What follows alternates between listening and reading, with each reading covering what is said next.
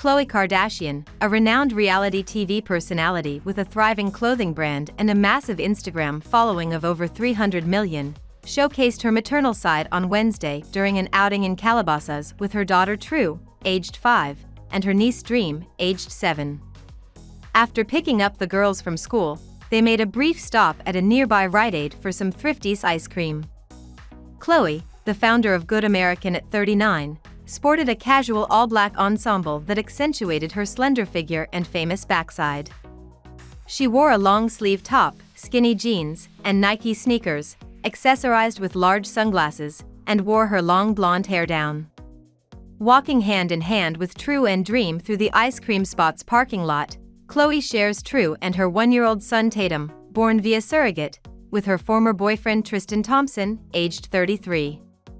Dream is the daughter of Khloe's younger brother Robert Kardashian, aged 36, and his ex-fiancée Blac Chyna, aged 35. While at the ice cream parlor, Khloe and Dream selected colorful ice cream cones, while True opted for a plain sugar cone. Earlier that day, Khloe surprised fans by publicly wishing Tristan a happy birthday on Instagram, despite their tumultuous past. She shared heartwarming photos of Tristan with their children True and Tatum, as well as with his younger brother. In one caption, she referenced Tristan's role as a guardian to his brother Amari, whose legal guardianship Tristan was granted by a Los Angeles County Superior Court judge.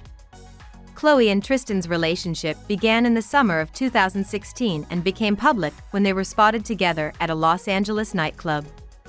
They met through a blind date arranged by their mutual friend Brandon Jennings. Despite initial reluctance, they went Instagram official in October 2017 with a romantic Halloween post. Their relationship faced public scrutiny following Tristan's infidelity scandal in April 2018, just days before True's birth, when he was caught kissing another woman. Further controversy arose in February 2019 when Tristan was accused of cheating again, this time with Jordyn Woods, a close family friend. Despite their tumultuous history, Khloe and Tristan continue to co-parent their children in a public and civil manner, although they haven't been together since 2021. In 2022, Khloe welcomed her son Tatum via surrogate and legally changed his last name to Thompson.